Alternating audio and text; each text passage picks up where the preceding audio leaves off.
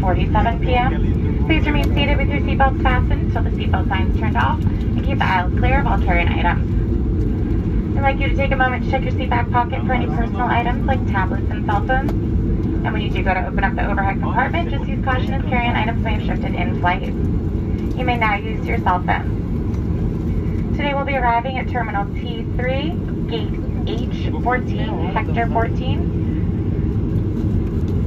For those of you with connections, you can check the monitors in the terminal, the American Airlines app, or AA.com for gate information. And from all of us at American Airlines, our oneworld partners, and this entire Washington, D.C. and Chicago-based flight crew, we'd like to thank you for flying with us today. We hope you enjoyed your flight. and We hope to see you again soon on your next American Airlines flight.